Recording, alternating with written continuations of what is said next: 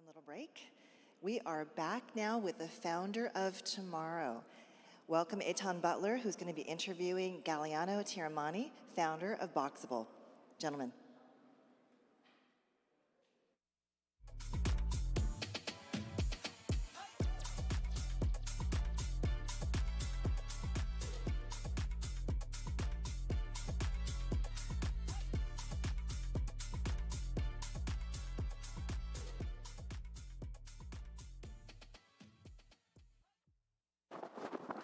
Hello, everybody. Um, Etan Butler here, chairman at Dalmore Group, and I'm here with my good friend Galiano Tiramani, who is the founder of Boxabl. Boxabl is the exciting and revolutionary company that is changing the industry of real estate manufacturing and housing. And uh, just before we get started, just full disclosure, Dalmore is a, is a broker dealer, and, uh, and Boxabl is a client of ours. So this isn't a, a recommendation or an endorsement to purchase any securities. Um, although these, I'm, I'm, a huge fan personally, uh, as I know so many of you guys are as well. Um, so Galiano, good to, uh, good to connect again. And um, I wanted to start by just kind of you know, learning a bit more about your history, what you're about. You're a super interesting guy and your and your family is also your dad you know super interesting really interesting history. I want to kind of hear kind of like what the last 10 15 years were like for you that kind of like led up to where we are today. First question i think my mic i may have dropped it during the dance. So is my is my mic okay right now? No? Let's see. How's that? I need some some technical assistance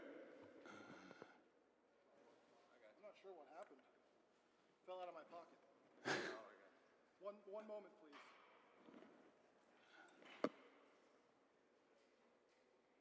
Testing, testing. Maybe we need a redo now. We do a redo? Is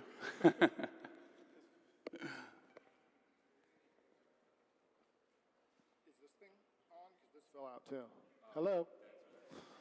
All right. Okay, yeah, I think we're good now. So, yeah, let's pick up where we left off.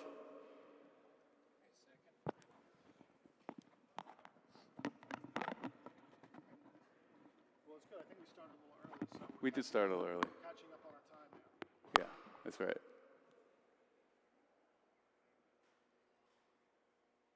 All right. Can you hear me now? Not yet. Hello. There we go. okay, we're this. back. That's much better. So sorry about that. Uh, when you come on stage, if you're going to dance, just test your dancing. You know, rehearse your dancing beforehand. Uh, but anyway, uh, uh, great to see you, Etan. This is, you know, our, uh, our investment bank. Uh, absolutely amazing. Highly recommend to any uh, founders that are looking to do crowdfunding. And, uh, you know, of course, Boxabl, we are a company trying to dramatically reduce the cost of housing through our technology and our factory-built room modules. Um, but, you know, you asked about my my background uh, starting off, and really my background is just nothing to do with building construction at all. It's, it's kind of entrepreneurial startup stuff. So I've had a few uh, successful businesses and uh, many other not successful ones, but uh, one of the bigger ones was back in 20, about 2014, started, actually started a Bitcoin exchange, did really, really well with that, very exciting business, especially back then when Bitcoin was so new. And then um, after that, uh, I started that out in Connecticut and then eventually decided to move to California and saw what was going on with marijuana. And this was right around the time when they were going from medical uh, into recreational legalization. So really exciting, crazy industry to get involved in. So I dove into that, uh, you know, head first and ended up uh, with pretty big operation doing uh, marijuana farming, um, hash oil production, wholesale distribution. Um, you know, lived out on a farm in the middle of nowhere with, with my family. And uh, while I was doing that, I started working on Boxabl on the side. And, you know, eventually realized uh, only going to get so far in life selling weed. Boxabl is a really massive opportunity to actually have a, a huge impact on the world and, you know, hopefully help millions of people. So uh, decided to take the leap, took my family, moved to Vegas and, you know, ran full speed. And now we've been in a absolutely massive factory producing houses uh, for about a year now. Wow, that's quite a uh, quite a journey. Um, I have a 17, almost 17-year-old son. His name is Gal, who is an engineer. He's an entrepreneur, and I enjoy working with him. And I know that that um, you know your partner, you know, co-founder, is your father. Um, tell me about that. How is, how is working with your dad? Um, you know, building this next chapter of what you guys are focused on. Yeah, you know, uh, working with my dad, really amazing. I mean, you know, couldn't have, have dreamt of being able to hang out with my dad all day, working, uh, especially now that I have kids, I kind of understand, you know, what it means. Uh, he's um, an engineer with a background in intellectual property licensing, where for the past 30 years, he's had a business of inventing stuff, patenting the inventions, and then kind of selling those inventions. So he's had a lot of success in that. And we kind of came together and decided to be the operators of this business, um, which all started from his invention. So working with him is really great. We have really complementary skill sets. He's more on the design and engineering side, while I'm, you know, a lot of business, uh, uh, marketing, and, and, other things like that. So pretty cool. Uh, we've worked together a, few times in the past. Uh, back when I was in, you know, high school, I used to spend a lot of time at his, at his office, uh, and then we kind of reconnected later on after, you know, those other businesses I mentioned, and are, uh, you know, doing Boxabl now. And, and how did the how did Boxabl come to fruition? I mean, what was was it was it your idea? Was it something you, you and your father were, were talking about for a while? How did you guys decide to to kind of get in the space? Yeah, well, actually, the original idea came many years ago when Paolo actually tore down the childhood home that I grew up in, and he rebuilt um, a, a, house on the property, but he used modular construction. So traditional modular construction, where you have these wide loads that ship in the factory, and they're built with lumber frame, wood and nails. That's uh, how he built that house. And when he did that, he just saw all the problems with building construction and got the idea to fold the house up initially. So then, sometime in, in 2017, when I was in California, and I think he was uh, just moving from Connecticut to Vegas, we started talking about the idea again and decided, you know, let's give it a shot. So we at first just created a little website, put it out there, started marketing with some, some renders, started getting some interest, and eventually we got our big break when the uh, Builder Show in Las Vegas, which is a really big trade show for building construction products, invited us to bring a casita uh, or bring a, a house out to the show. We didn't actually have casitas back then. We had uh, nothing. So we got invited to the show, and we had a meeting and said, "Are we able to to do this? Should we should we agree to it?" We said, "Yeah, let's let's do it." So you know, we we agreed to deliver this house to the show. It was like six or nine months, and uh, then we went and figured out how to build the first prototypes. So we built the first prototypes, which were actually not casitas; they were bigger. Uh, 40 foot units, and we delivered those out to the Builder Show, and, and people got interested, and things continued to kind of uh, ex- accelerate from there uh, up until you know a, about a year ago when we turned on this this first factory. So the first factory is. Uh, 170,000 foot building. We've got several hundred employees now. We produce houses every day, and uh, it's been a really exciting journey that kind of keeps accelerating. And of course, we have really big expectations here and really big plans uh, for the company. We think that we can mass produce housing at a scale and a speed and a cost that the world has never seen before and probably have a, a really big impact. Fascinating. And why did you choose equity crowdfunding, you know, regulation A, rather than explore more, I guess, traditional sources of financing? You know, uh, when I started, I was just kind of looking around in the dark, never having raised money for anything before. You know, both Paolo and I had funded our, all our own projects, but with Boxabl, we realized, you know, the amount of money we would need to uh, achieve this was absolutely massive, and we needed to bring in uh, outside investment. So I started looking around to traditional investors, venture capital, all that, and really just didn't like kind of the, the reception I got. I didn't like the, the, the terms that were proposed to me, and I started noticing what was going on with equity crowdfunding, and at a certain point just said, you know what, let's give this a shot. Worst that can happen is it, it won't work, and, and we'll move on.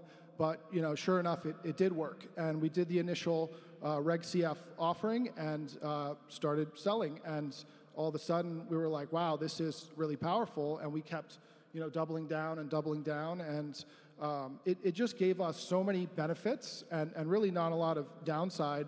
We had, you know, of course, the ability to kind of retain full control and, and creative direction of, of the company.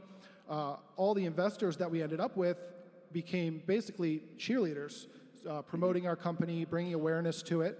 And then the marketing that we had to do to get the awareness to find the investors ended up paying off in other areas. So we never even considered all that, but now we have over 150,000 potential customers on our wait list and just like crazy amount of interest, resources rolling in.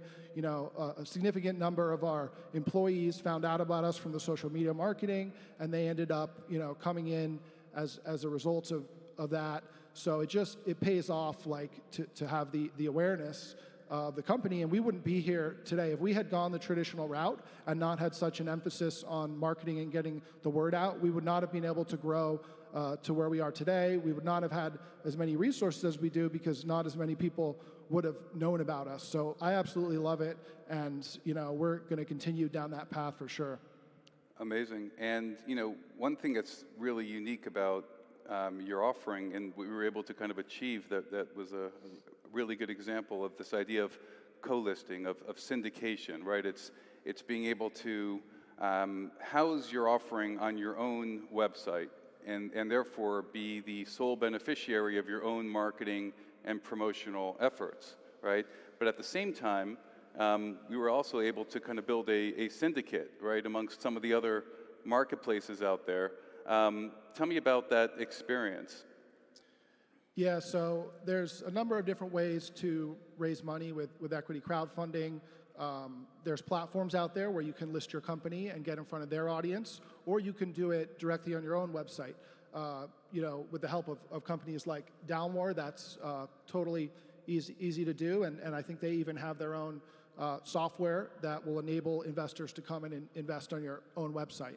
So we started out on a crowd crowdfund platform and then quickly realized that if we kept the investors on our own website, we could really control the messaging. We could control the marketing to them. We could retarget them with pixels, uh, email communications, and it was much more effective. So we you know, transitioned from the, the crowdfund platform onto our own website, and that just continued to be successful.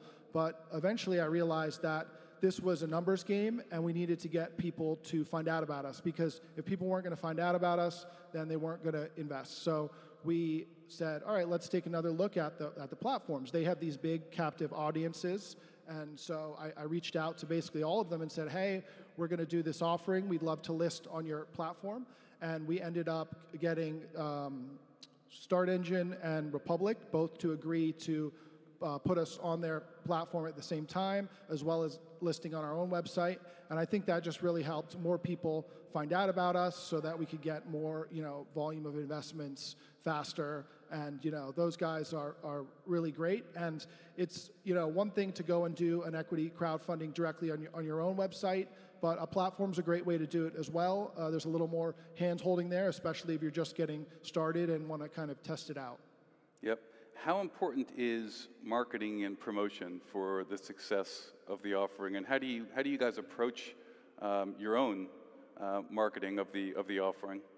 Yeah, you know, uh, marketing is everything because you know if you don't have that, no one's gonna know who you are. So of course you have to start out with a, a great a great project, a, a great company, but you really need to get the word out. So, for example, one of the reasons I'm wearing this hat right now is not for safety. Uh, it's just to kind of capture people's attention and maybe get them to stop scrolling on their phone for, for one second and pause on our video so then the algorithm can pick it up and, and push it out to more people. So you really need to have a company that can be understood by you know a, a, group of people and then you need to get in front of them and show them what you're doing so the way i think about it is you, you need to get views you know do almost anything you can to get the views. And you know, then once you have that traffic, you want to capture those leads through um, getting them to input their information, you know, their, their email, their phone, maybe with a, a, social media pixel.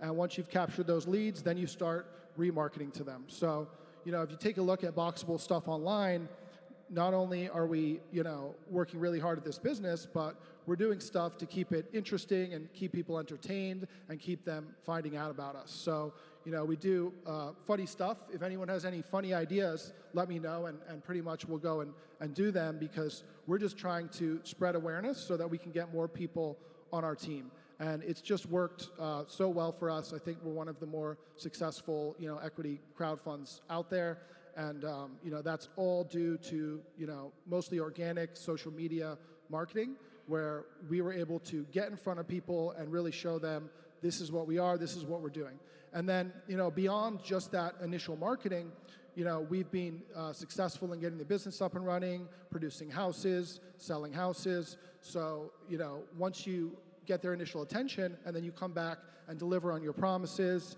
and achieve milestones, then things kind of start to, to snowball and it gets uh, better and better. Because, you know, when someone scrolls through their phone and they see this unfolding house and they stop for a second and say, oh, that looks really cool, I want to look at this unfolding house video, uh, then they go in and they start looking at what else you're doing. And they see, oh, there's a lot more to it than this, and there's a lot more great stuff going on. And then you can really start, um, you know, selling to them, whether it's an investment or, or a product, or you're looking for uh, a supplier or employees. Uh, all of it, it all pays dividends with, with marketing.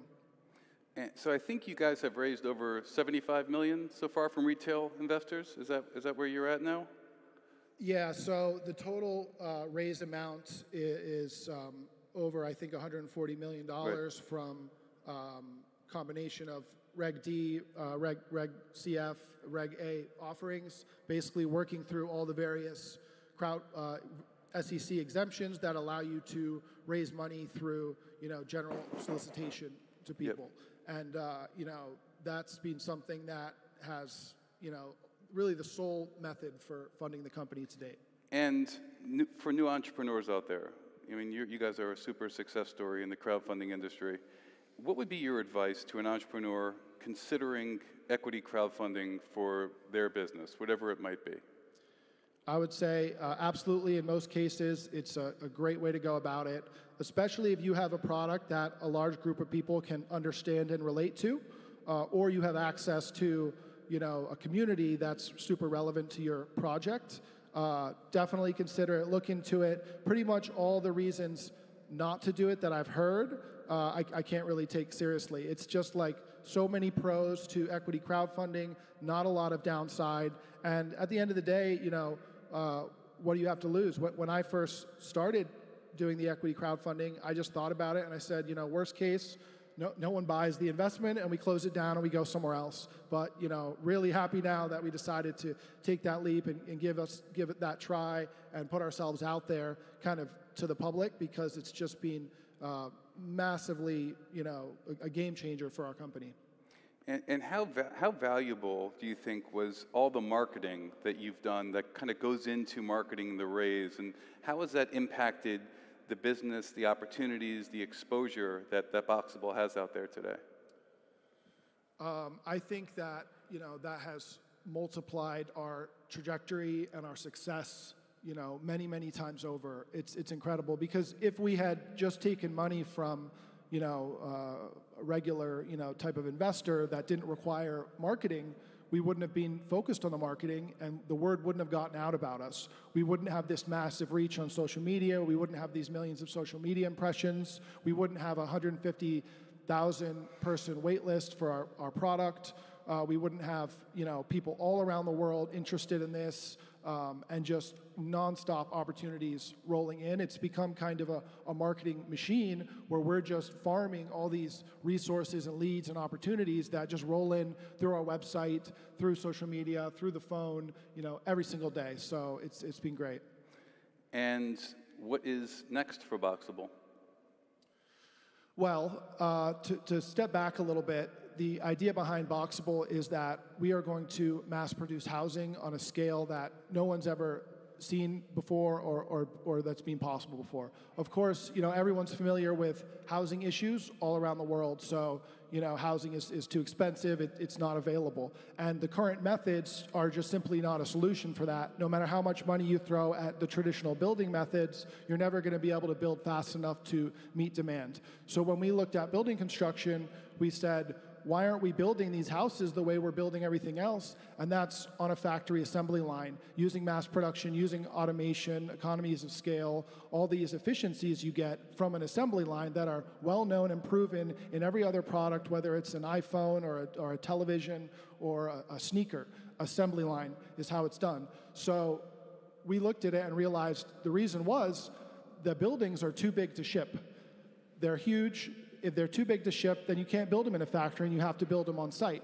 And of course, there are guys out there building buildings in a factory, but generally they're shipping these wide loads, which are very expensive to ship. So they kind of lose all their efficiencies back to that shipping costs. So our core innovation was we're going to fold these houses up so they can ship as a legal highway load and not be oversized and not incur that extra fee. And all of a sudden, that's going to open up our shipping radius and allow us to mass produce in a factory. So we've gotten in and we've uh, not only dialed in that shipping innovation, but we've changed how we're building the building, the building materials used, the manufacturing methods. We've been able to streamline everything to produce houses uh, faster than, than anyone else.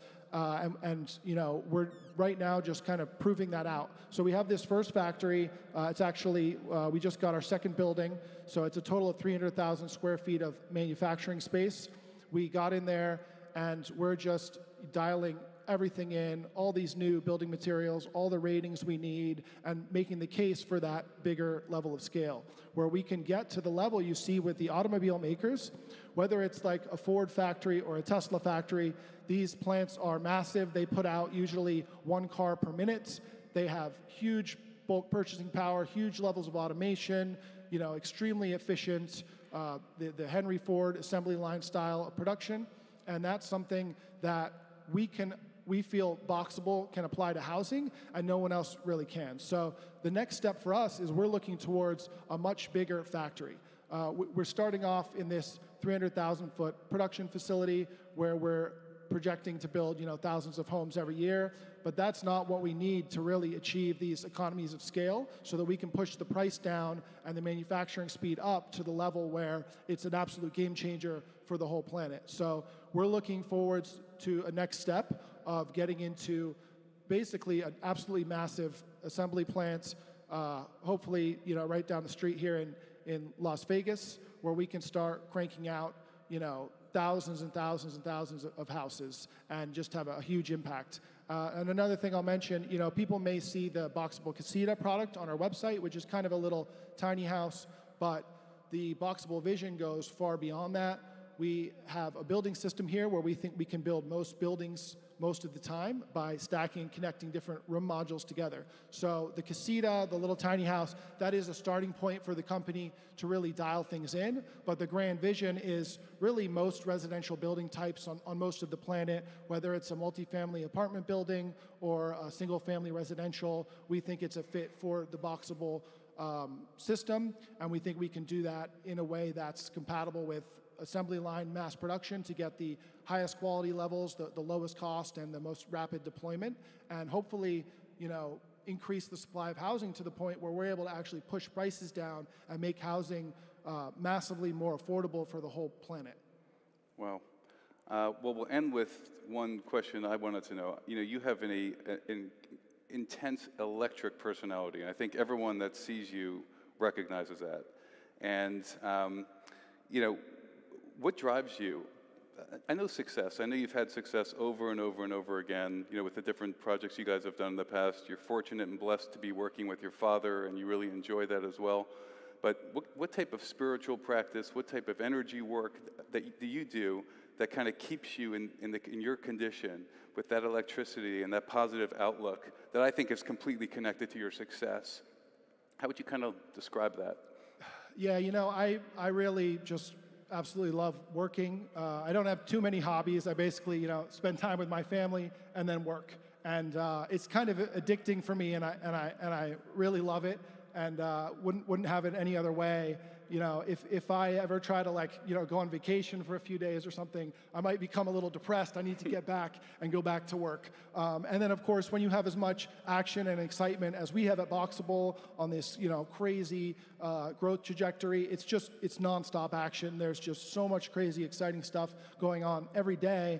And at, at the end of it all, we're on a mission to just have a really big impact and make a, a really big change. So that's what I want to do. I don't want to do anything small at all. I want to go insanely big and just have a huge impact on, on as many people as, as possible. And that's what's going to make me happy at the end of the day.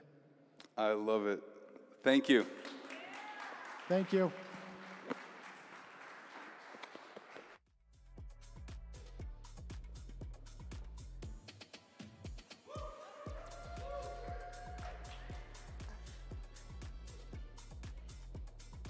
It's okay, he can fix it.